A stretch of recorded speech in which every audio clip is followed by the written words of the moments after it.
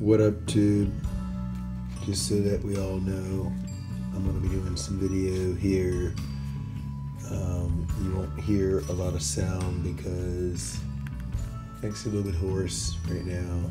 So I'm going to turn back on the background music that I have on and just let that play.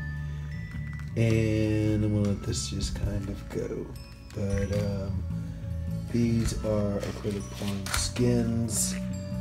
As you can see, I've already bedazzled them with some jewelry uh, pieces, basically, so that you know I can cut them out. There's some areas that I haven't bedazzled yet that I'm going to take care of probably before I cut all of this here out.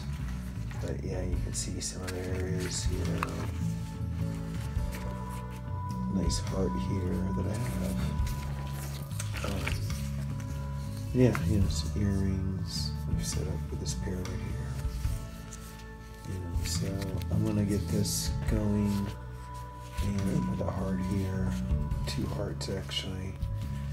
I'm gonna get this going here.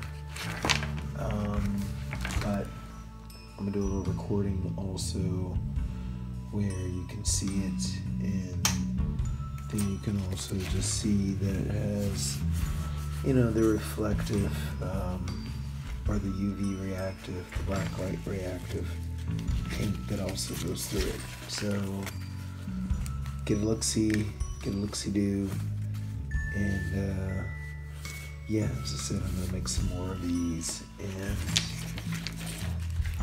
that'll be that. Um, that's all the talking I'm going to do here. I'm actually going to shut this light back on and probably record this again. One piece.